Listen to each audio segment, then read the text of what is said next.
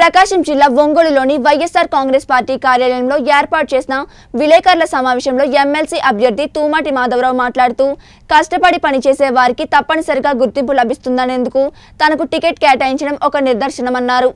రెండు వేల పద్నాలుగు నుంచి రెండు వేల పంతొమ్మిది వరకు తాను కందుకూరు నియోజకవర్గంలో వైఎస్ఆర్ కాంగ్రెస్ పార్టీ సిపి ఇన్ఛార్జిగా పనిచేశానన్నారు.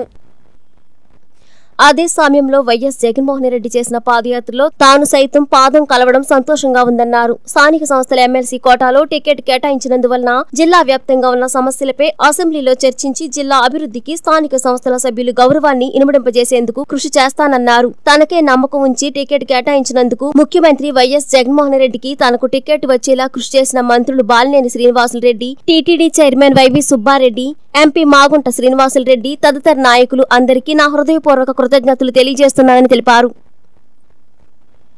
వాళ్ళని అత్యున్నత పదవులకి అవకాశం ఇస్తారని చెప్పేది జగన్మోహన్ రెడ్డి గారు ఎంత నిజాయితీగా నిబద్ధతతో అవకాశాలు ఇస్తారన్నది కూడా ఈ సందర్భంగా ప్రతి కార్యకర్త గుర్తించారు ఈరోజు.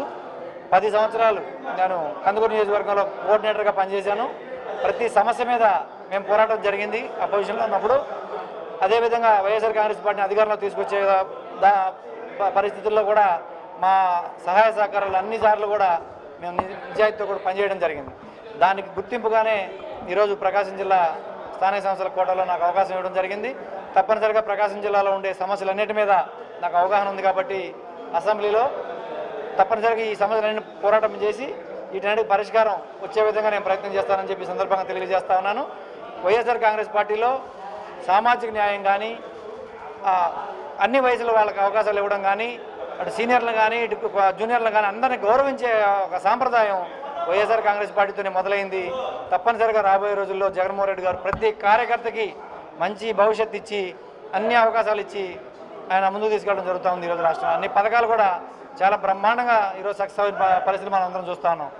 ఇదే కాకుండా జగన్మోహన్ రెడ్డి గారు బీసీ ఎస్సీ ఎస్టీలందరికీ కూడా రాజ్యాధికారం కల్పించే దిశగా మొట్టమొదటిసారిగా అడుగులేయడం జరిగింది. గతంలో ఇచ్చేవాళ్ళు కానీ కొంత లిమిట్ ఉండేది దానికి అసలు పరిధులు లేనంత దూరం తీసుకెళ్ళి ఈరోజు అన్ని దాదాపు నూట యాభై కార్పొరేషన్లో కానీ అన్ని పద స్థానిక సంస్థల్లో కానీ ఎమ్మెల్యేలో కానీ ఎంపీల్లో కానీ ఎమ్మెల్యే ఎమ్మెల్సీలో కానీ అన్నిట్లో ప్రతి దాంట్లో ఫిఫ్టీ పర్సెంట్ పైన సామాజిక న్యాయం ఇవ్వడం అనేది ఒక వైఎస్ఆర్ కాంగ్రెస్ పార్టీలోనే సాధ్యం అవుతా ఉంది.